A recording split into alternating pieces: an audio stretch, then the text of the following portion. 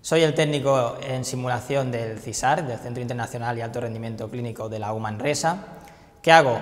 Doy soporte tecnológico y logístico a todo el equipo docente.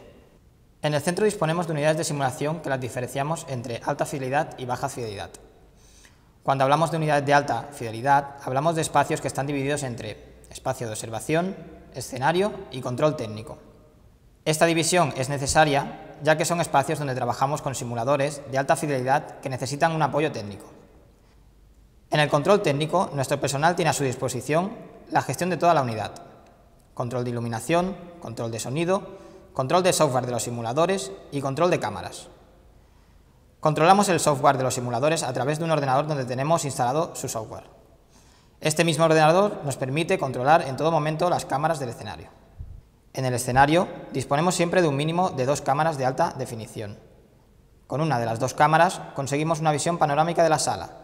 Con la otra nos permite seguir a los participantes por el escenario y gracias al zoom óptico conseguimos una visión muy detallada de la situación.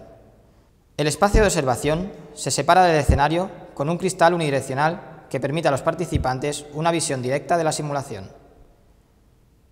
Aún así, disponemos de una pantalla donde podemos visualizar todas las cámaras del escenario para que el participante no pierda ningún detalle.